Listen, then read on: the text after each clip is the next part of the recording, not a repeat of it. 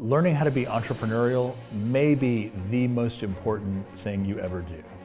I would have loved to have had an entrepreneurship course when I was in high school. Entrepreneurship is not just a thing you do, it's also a mindset.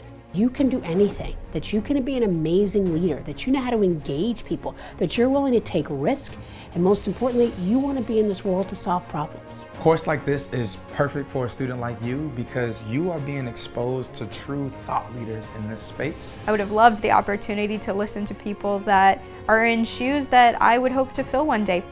Being able to be creative, to recognize opportunities, to deal with failure, these are all things you're going to need no matter what entrepreneurship is something that getting that initial stepping stone is a huge step that you'll have over your peers. You're ahead of just about everybody else that's in a similar place in life. You're being delivered exceptional content from one of the best institutions in the world.